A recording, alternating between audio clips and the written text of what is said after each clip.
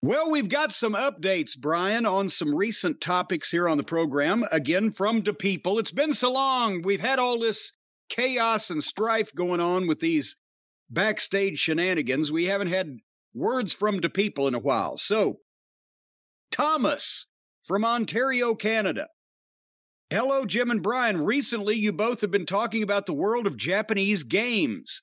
Let me Oh tell my God, you not about this. the. Let me tell you about the world of waifu.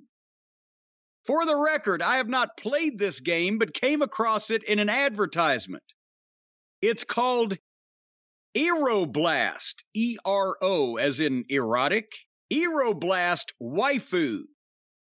The synopsis of the game is you meet single waifu girls in your area and solve the puzzle of anime dating games. I will admit that anime dating games are a puzzle to me. What's a waifu girl? So it's not The waifu it's not a wife, obviously. I mean, what is this? No, according to Google, he goes on. See, there was going to be this information if you wouldn't just blurt out things and bust in.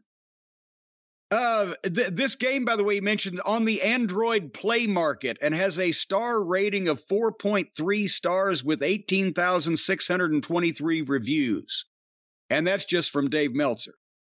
Since I was unfamiliar, Thomas says, with the term waifu, and we've been talking about these, but he Googled what a waifu girl is. According to Google, a waifu girl is a fictional female character.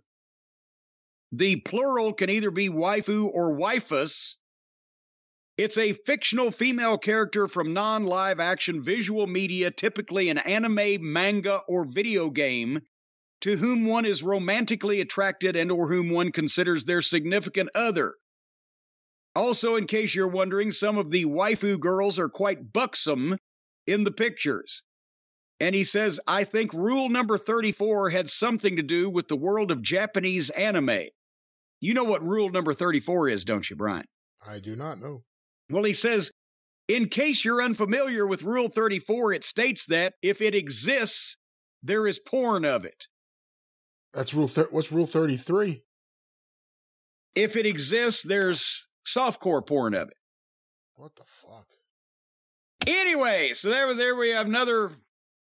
There's a lot of people involved in this type of thing.